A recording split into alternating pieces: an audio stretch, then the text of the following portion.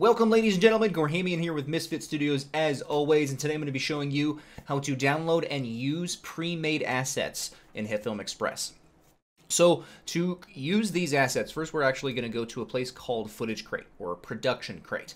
Um, these guys are awesome. Go ahead and register. There is a lot of content on here that is free. I highly recommend paying for the pro version of this because they have a ton of stuff that you can use when you guys are making your videos, whether it be simple tutorials or a full production, um, you know, TV show or movie, something like that.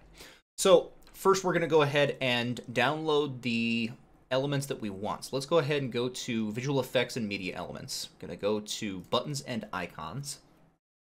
And let's go ahead and do a simple little subscribe animation. If you hover your mouse over all of these, they'll give you, and you know, it'll actually play the animation of what they are. So let's go ahead and click on that.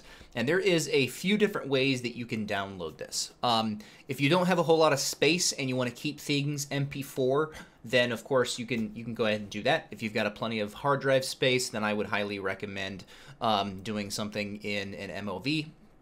But today we're actually going to be doing an MP4. So we're going to go ahead and click MP4. It's going to go ahead and start that download. And then we can just close out of that.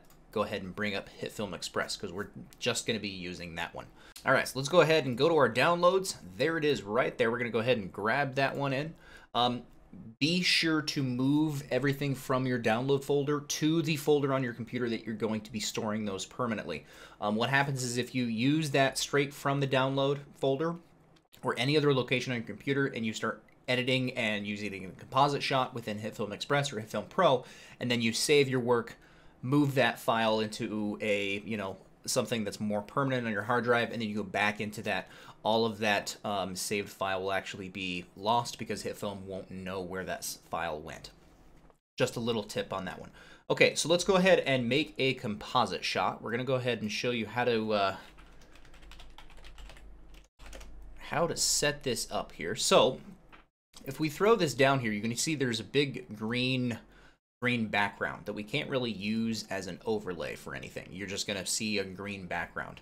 Um, what we can do though to change this, we actually go to our effects tab under the keying. Um, typically, if you've got a green background, um, chroma key is going to be the thing to use, but of course that is an add-on that only comes with HitFilm Pro, and so today we're going to be using the color difference key. We're going to go ahead and drop that down right there. The nice thing about the color difference key is the default is set to green. So let's go ahead and go to our controls, make sure that your footage um, is highlighted, we're going to open up, and as you can see, screen color is set to green. You can set that to red, green, or blue.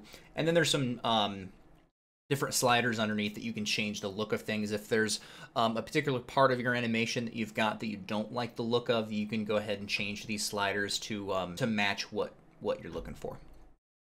So the nice thing about this is we don't actually have to set this color difference key every single time.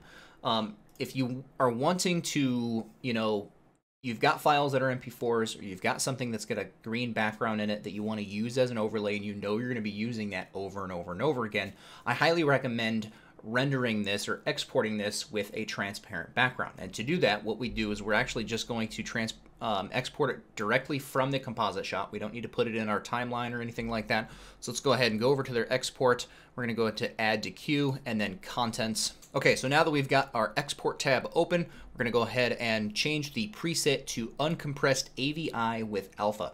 What that means is we're going to go ahead and start that exporting. What that means is it's actually going to export everything else other than the alpha channel. So it's going to keep those alpha channels alpha channels. So they're going to be transparent. Um, and so it's going to take a few seconds here to go ahead and export the rest out.